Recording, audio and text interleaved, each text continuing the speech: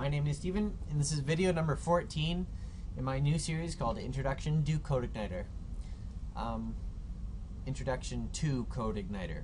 Yes, that's what this video series is. Um, in this video, we'll be talking about uh, helpers. We're going to auto-load a helper, and we're going to uh, the HTML helper. I'll teach you guys about the HTML helper. It's pretty basic. Um, it's not exactly useless, but it's actually kind of cool. So why don't we just get get right into it? First thing we want to do is we want to auto load it because I'm going to use this in multiple views and I don't want to have to load it every time. So what I'll do is I'll go to config, auto load. Um, actually, I'm going to clean this up a bit. Excuse me for my mess.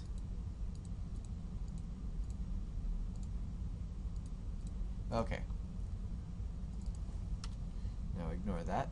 Um, okay. The HTML helper is loaded simply by HTML.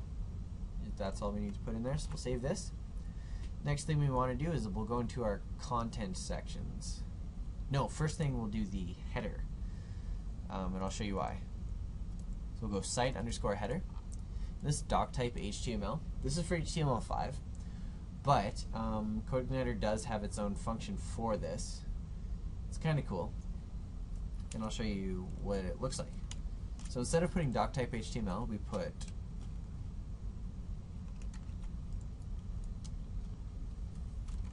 open our PHP tags. Then we will go doc type.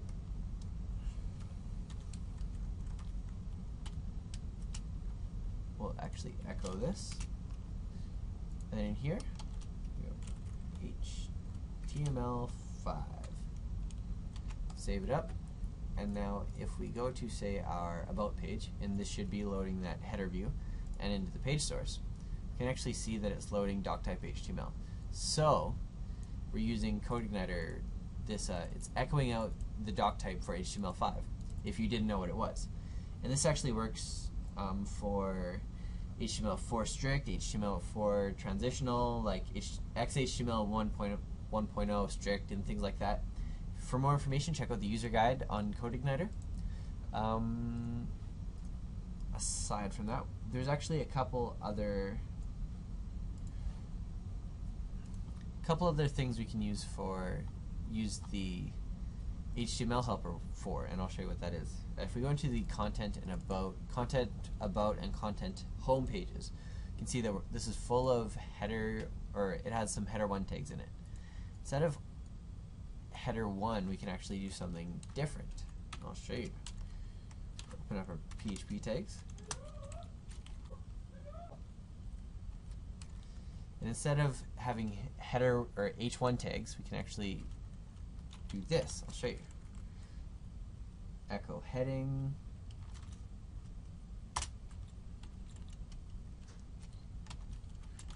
About page. It takes two parameters. The first is the, or it can take three, I think. Yeah. Um, the first one is the actual text that goes inside the heading tag, so the content of it. The second is what type. Is it an H1, an H2, an H3? In this case, it's an H1, so all we do is put 1. And the second would be any external styling we had, or any external attributes. So like if we had an H1 with a class of something and a style of something, we could actually go like, name the class right here. And it would be like class is equal to big H1 or, you know, whatever you want to do there. But in this case, we don't have to worry about that. So we'll save this up delete about page. And I'm actually just going to copy this onto the home page too, so we have consistency and stuff. Just call this home, save them both, and we'll check it out, see if it actually works. Sure enough, that uh, function that we're the function that we're using there is if we check out the page source, come back here. that H1 tag is right here and it's an H1 and the content is in there. So this function works exactly the same as typing an H1 tag. Um, I know a lot of you are probably thinking, well, why wouldn't I just put an H1 tag? Um, the reason is, the plain reason for that is, is you can actually put variables in here if you were to say call this title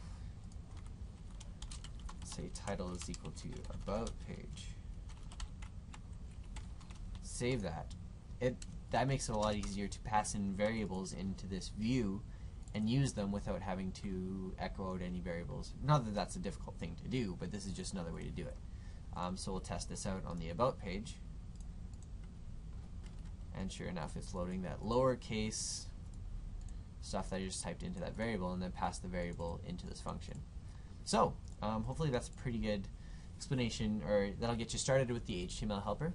Um, for more information and things like that, there's like you can do break tags, you can do image tags, things like that. Um, but check out the user guide on codeigniter.com. That'll uh, take you to the next level with the HTML helper. And thanks for watching.